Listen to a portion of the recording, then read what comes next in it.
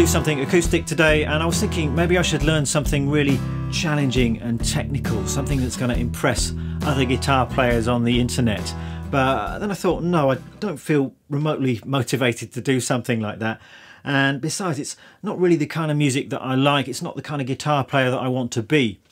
And it remains just so baffling to me why things that are technical and difficult are valued so highly by people on the internet. And uh, to be honest, most of the music that I love, most of the music that touches me the most deeply is just very, very simple. And in guitar terms, it's often not much more than just this kind of thing.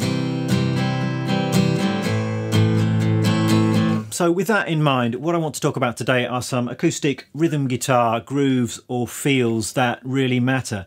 And I think if you're in a band or if you're recording, if you're a songwriter, then this is going to be the stuff you end up doing 90% of the time. So it pays to get really good at this basic kind of stuff. On one level, I suppose this might seem like a bit of a beginner's lesson. And if you are a beginner, then you definitely want to prioritize working on this stuff. It's just so important. But if you're a more advanced player, it's very easy to be dismissive of this kind of stuff and just think, oh, well, it's easy. And then you get to work on the technical stuff that's going to impress other guitar players in internet land. But I think uh, there is going to be something for more advanced players in this lesson too. And I'd like you to focus on how good you can get this basic stuff to sound, really focus on the nuances of groove and feel. So let's get started. I'm going to take you through each of these grooves, going to explain the basics, and then I'm going to get into some of those subtleties as well so you can get them sounding really good.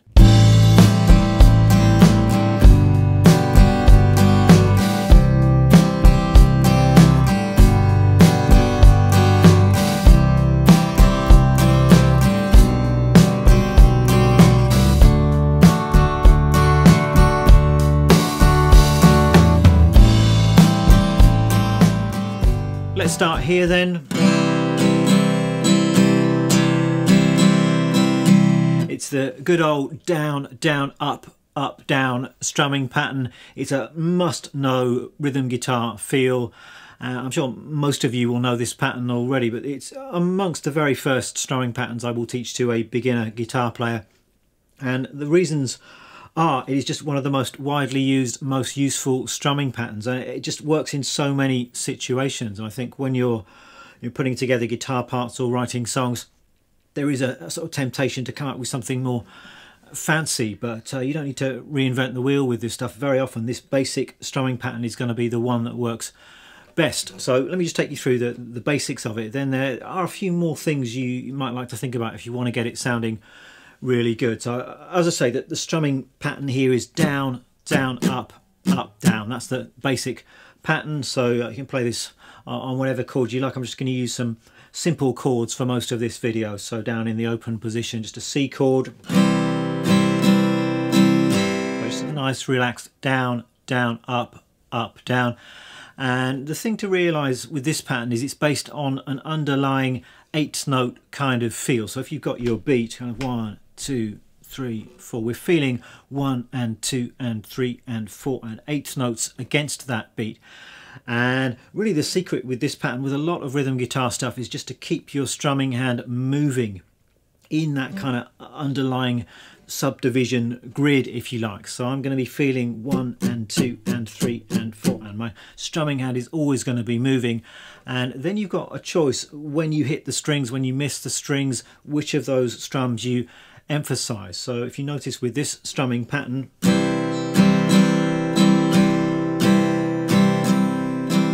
always moving my strumming hand, but I'm missing the strings in a couple of places. So I'm going down, miss, down, up, miss, up, down, and I miss it again at the very end. So you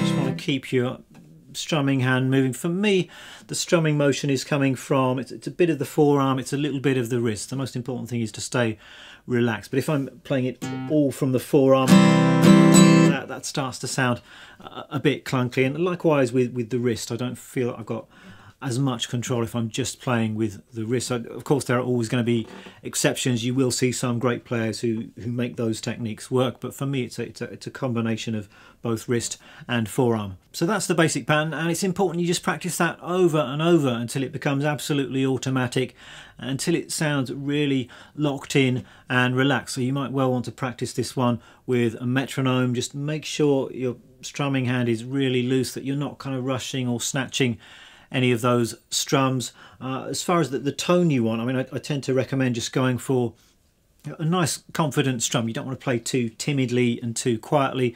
Neither do you want to really bash the guitar. Um, in most cases, I think that kind of leads to, to a loss of, of tone if you're doing that. So generally I just go for a kind of confident medium volume. That's my starting point and then uh, depending on the situation I might sometimes emphasize or accent certain strums or I might uh, you know, go a little bit quieter in certain sections of the song just to add uh, a little bit of dynamic. Um, another thing with this one is you, you, might like to accent beats two and four. That's very often where the accents will fall, especially if you're playing with a with a band with a rhythm section. That's where the snare drum is going to hit. So you might want to go one,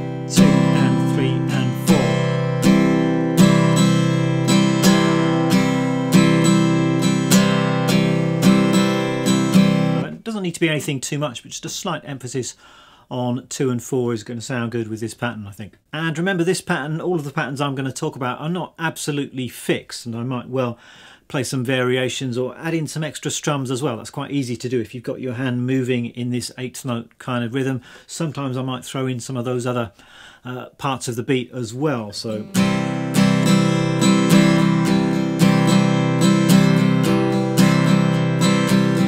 Very often I might hit the strings on the and of four for example. So it's definitely not one of these fixed kind of patterns. And there are lots of ways you can practice this stuff. If you are a beginner, I'd recommend just sticking on one chord or even just using the open strings and just getting your strumming hand working with this pattern. But then you can try some chord progressions. So the chord progression that I just played was an A minor 7. I just have my, my pinky down at the third fret on the top string as well.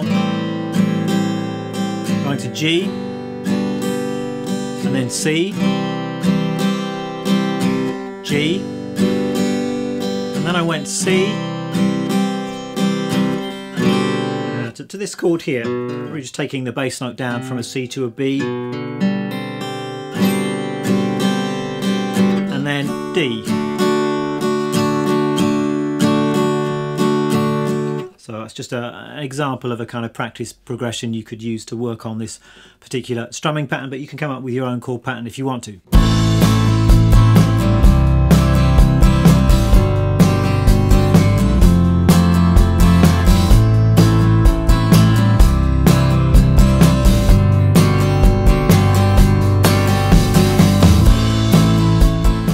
This next one is again an eight note based pattern, but I'm filling in all of the available subdivisions. So it sounds a little bit busier and it's got a bit more of a driving quality. So if we just do this on an A minor chord, we've just got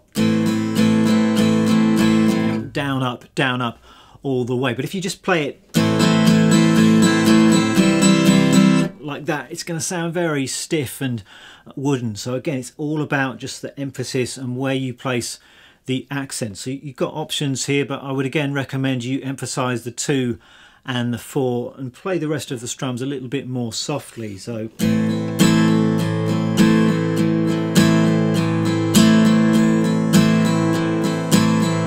And as soon as you start doing that, then it all starts to come to life a little bit more. So you just want to listen out for that, the accents, the tone you're getting as well and uh, even things like the type of pick you use does make a difference with the tone. So for, for most of these examples, I've got a uh, a USA nylon Dunlop pick 0.73 millimeters, so kind of a medium pick, but it does flex a little bit. And I find with acoustic stuff, particularly with strumming, I do prefer a slightly lighter pick than I would use for electric guitar stuff and for lead guitar stuff. But I've got a few few different picks here. Another one that I like for acoustic strumming is a Fender thin pick, and, um, and to me, that's got a noticeably different sound to the Dunlop pick. And we're getting kind of pretty nerdy here with sort of pick choice for acoustic strumming, but it, it can be significant. Uh, ultimately, it comes down to personal preferences. Or you know, if you are recording, then you might well like to audition different picks, and it, it might not make much of a difference, or, or it might make a big difference depending on the context, depending on the song. So get comfortable with that one, and when you're ready, you can plug in a chord progression. I was just using a very simple four chord cycle, so A minor to C to G, and I was keeping my first finger down there. That nice kind of add 11 sound. And then F, F major 7, round again, A minor, C,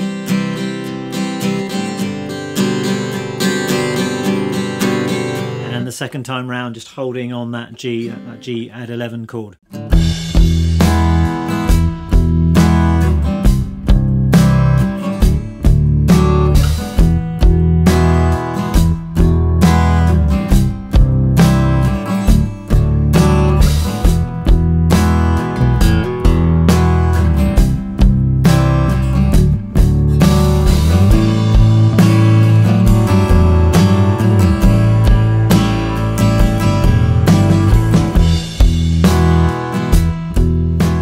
One's a favourite of mine. I associate it with people like Neil Young, who tends to use this kind of pattern in a lot of songs, but it's very widely used. You can use it in kind of indie rock acoustic ballads. You hear it in kind of a lot of early Radiohead stuff as well, for example. And uh, again, really, it's an eight note based pattern. It sounds like this.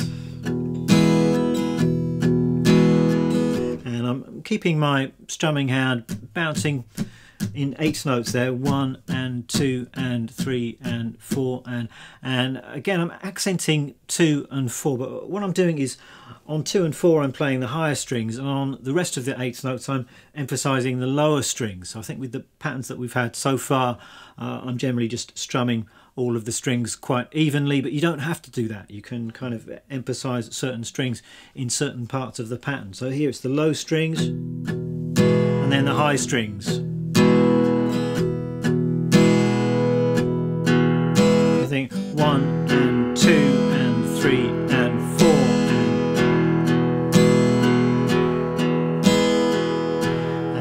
for that Neil Young feel you might like to palm mute the lower strings a little bit.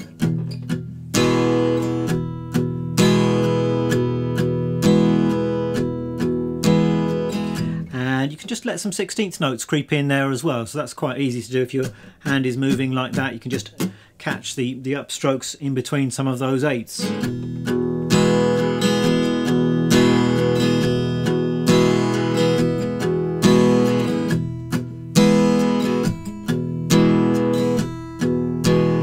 Kind of idea.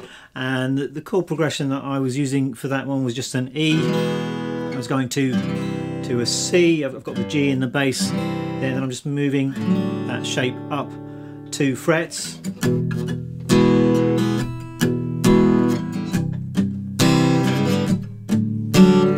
going around that a couple of times.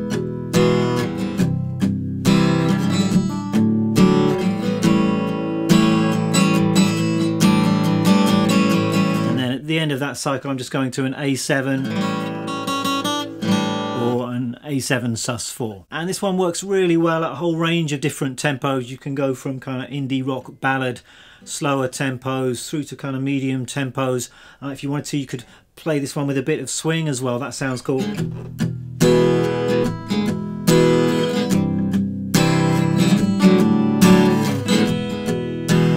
Loads of options and just from that one pattern you can get quite a, a variety of different moods and feelings.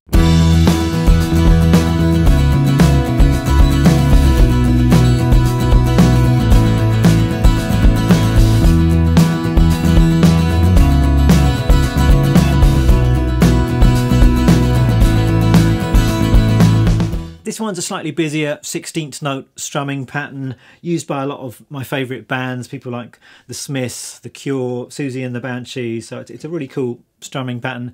16th notes just means that we're dividing each beat into four subdivisions. So one, two, three, four. Uh, a lot of people will uh, you know, vocalize 16th notes as 1 E and a 2 E and a 3 E and a 4 E and a. So uh, I'm just going to do this down here with a, a D major 7 chord. And important with all of these patterns, but this one in particular, that you stay super loose and relaxed because even at a medium tempo, if you're playing 16th notes, you're going to be doing some quite busy strumming. So make sure you stay loose, stay relaxed.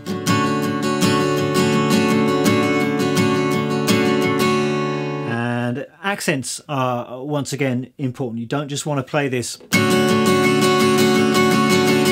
or it sounds completely lifeless. So uh, you might like to try something like this.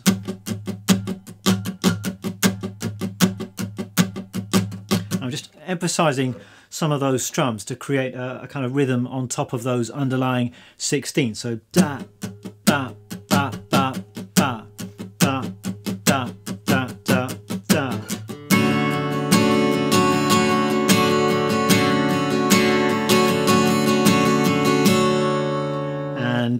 take that around a chord progression. The chord progression I was using at the start of this video, I was at an E power chord here, fifth string root up at the seventh fret. I've got the open top two strings. And I'm just moving the bass note around.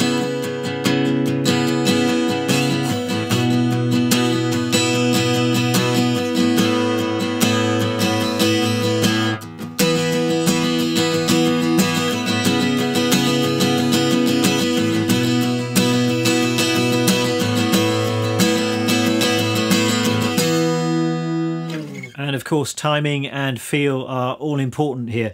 And there are no secrets. You just need to be really comfortable with these patterns. So they're completely automatic and you can relax with them. And various ways you should be practicing these patterns. Of course, you can play them with a metronome and really listen to whether you're locked into that click. You might like to play them with drum patterns, drum loops, or backing tracks. That can make practice a little bit more fun. But also just playing these patterns on your own, getting used to your own internal metronome, your internal clock. And we're not talking about timing perfection here and being absolutely metronomically perfect. And I don't know if anyone can do that. And certainly, personally, listening back to my performances, I will rush a little bit. I will sometimes be behind the beat. I'm moving about a little bit. It sounds human, and uh, that, that's what I want. I don't want things to be absolutely perfect, but I just want things to feel good and to feel uh, and sound exciting.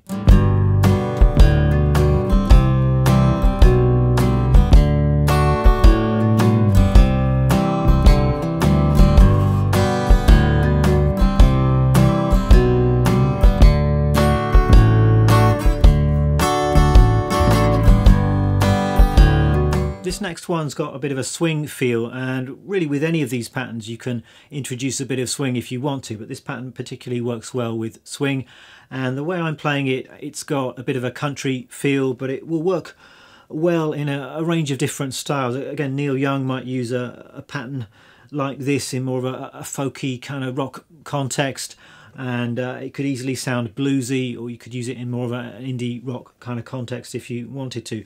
Uh, but the basic idea is this. We've got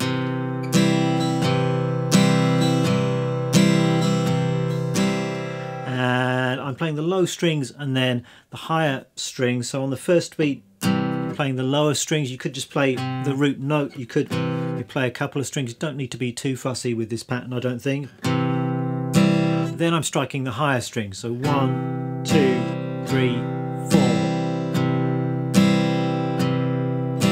And then I'm introducing some swung eighth notes with an upstroke of the pick. So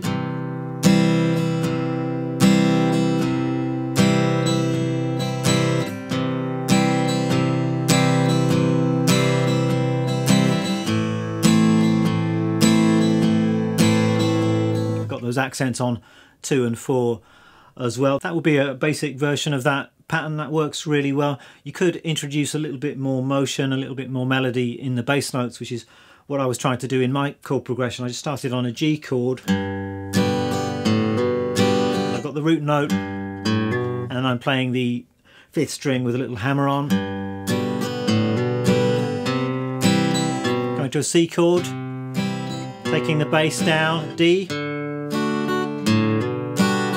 bringing my first finger over, hammering onto the B and C.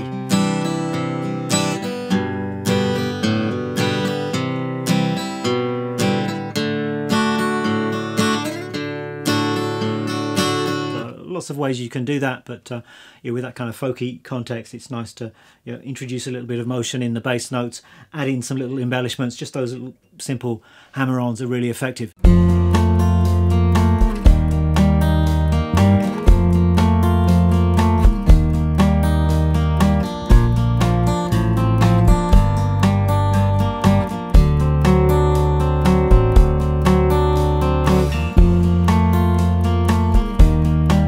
Strumming's not the only game in town, of course, and you might like to arpeggiate some of your chords. So pick out some of the individual notes, and you can just do that in a random kind of a way that can sometimes work.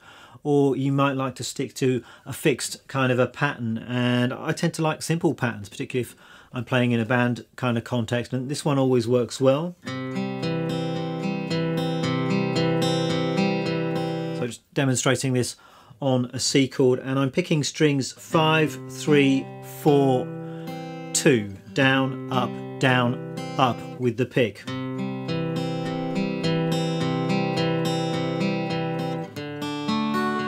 That would work on a D chord, you just move everything over to the next set of strings. If you're playing chords with a six string root you might have to adjust the pattern slightly. I might play something like this. So I'm just skipping the fifth string there. I'm playing six, three, four, two. And in my chord progression, I think I had a capo on at the third fret just to change the tone a little bit. And I was playing around with a C chord shape. So I had that up two frets and then coming down to the C shape. And I think I had a little descending idea. So G, just taking down the bass note to E minor. And then going to a B7.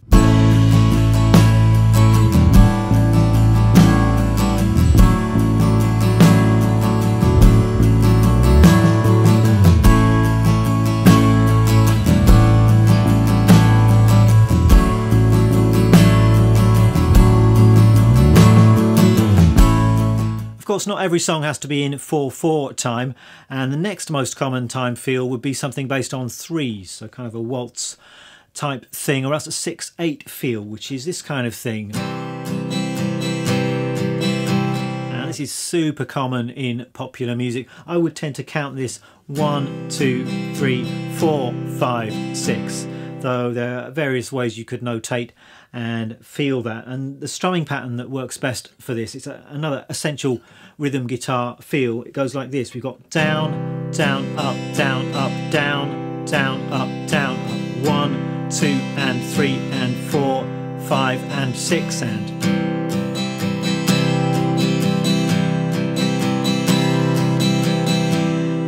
accents are important here as always so you can emphasize the first strum a little bit and then it's beat four so one two three four five six one two three four five six. Uh, sometimes this feels to me almost like a slow 4-4 with each beat divided into three and if you think of it like that then you again you're just emphasizing where the snare drum hits. So one two three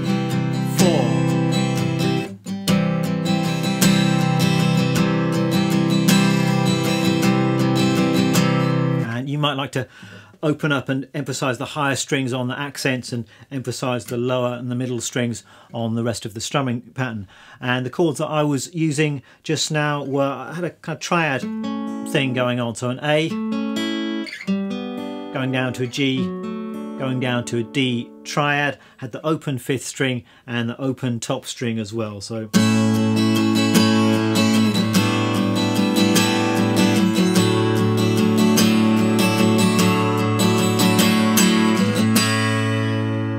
Well, that's it for this video. I'm sure there are a few more of these rhythm guitar feels that I could have spoken about, but those were the ones which sprung to mind as being amongst the most common and most useful. It's really worth working on this stuff, I think, no matter what your level. And it wouldn't be a bad idea putting together perhaps a little half hour rhythm guitar workout and doing that two or three times a week. Could just spend five minutes on each of these patterns either with a metronome or with a backing track and it'd be a really good way to sharpen up your rhythm guitar skills. If you would like tab and backing tracks, those things are going to be up on the Patreon page as usual. I will tab out all of the examples from this video and put my backing tracks up there as well. And I think the backing tracks just make practicing this stuff a little bit more fun. So if you'd like to access those, you can pay what you like and uh, get them up on the Patreon page. Thanks a lot for watching. Hope you found this video interesting and helpful, and I will see you next time.